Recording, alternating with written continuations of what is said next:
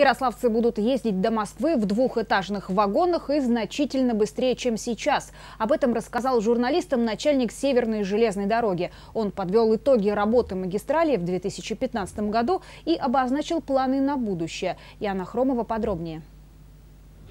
Железнодорожные пути меняются на бесстыковые, скорости повышаются. Северная железная дорога подводит итоги работы за год. Добираться до Москвы вскоре можно будет в современных двухэтажных вагонах. Таковые должны появиться в области уже в следующем году. А после 2020 года может появиться и третий высокоскоростной участок пути от Ярославля до столицы. И доехать до Первопрестольной можно будет всего за два часа.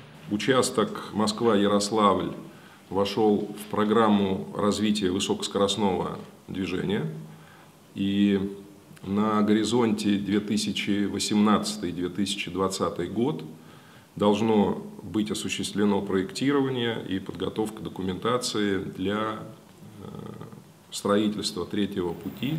На сегодняшний день железнодорожники пытаются сократить движение электричек до Москвы на 20 минут. Для этого понадобится реконструкция нескольких участков магистрали. В ближайших планах и организация движения до Костромы за час. Еще одна тема, затронутая на пресс-конференции – безопасность железнодорожных переездов. В идеале решением проблемы должно стать, по словам Сергея Кобзева, строительство путепроводов. Но это задача дорожников. Силами железнодорожников все 156 переездов области технически оснащены и проверяются два раза в год год. Вот это мероприятие совместное очень эффективное. И в течение месяца-двух мы, как правило, все ремонтные работы необходимые выполняем, завершаем. Переезды находятся в хорошем состоянии. В заключении начальник СЖД поздравил всех с наступающим Новым годом.